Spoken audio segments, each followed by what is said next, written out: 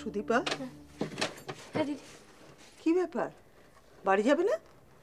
হ্যাঁ যাব তো। কখন যাবে? সবার হয়ে গেলে। সবার হয়ে গেলে মানে? স্কুল তো অনেক আগেই ছুটি হয়ে গেছে। এতক্ষণে বোধহয় যে যার বাড়িতেও পৌঁছে গেছে। তাই? কি ব্যাপার তুমি খেয়াল করনি নাকি? না মানে আপনি তো আছেন। আমি? হ্যাঁ, আমি তো ডিআইকে কতগুলো জরুরি চিঠি লেখার জন্য এখানে থেকে গিয়েছিলাম।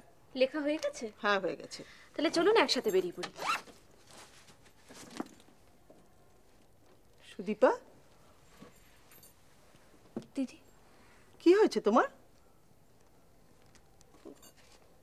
ক- কই কিছু না তো। কিছু না? আমার মনে হচ্ছে তুমি আমার কাছে কোনো কথা লুকিয়ে যাচ্ছ? না না দিদি আপনার কাছে আমি কি লুকোবো? তোমার মুখ চোখ কিন্তু অন্য কথা বলছে। কি হয়েছে সুদীপা? কি হয়েছে?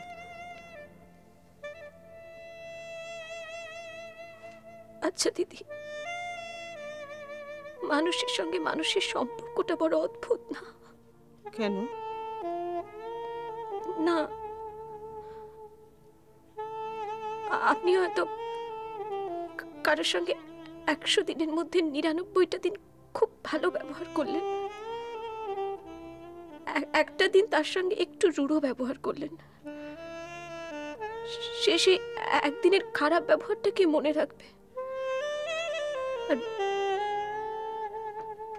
বাকি নিরানব্বই দিনের ভালোবাসার কথাটা বেমালুম ভুলে যাবে না।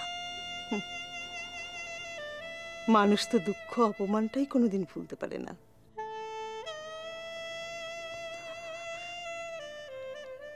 কিন্তু দিদি একদিনের অপমানটাই বড় কথা হলো। বাকি দিনের ভালোবাসারগুলোর কোনো মূল্য নেই।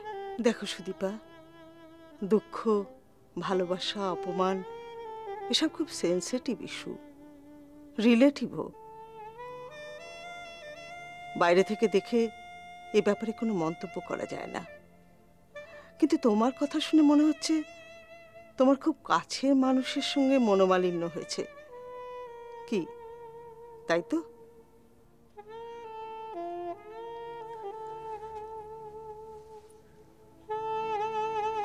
তুমি একটা কাজ করো সুদীপা। যার সঙ্গে তোমার ফুল বোঝাবুঝি হয়েছে তার সঙ্গে গিয়ে খোলাখুলি আলোচনা করো। দেখবে সব সমস্যার সমাধান হয়ে যাবে। নিজেকে তোমার অনেক হালকা মনে হবে। তা না হলে তোমার মনের মধ্যে অশান্তি গুমড়ে থাকবে। বুঝেছ?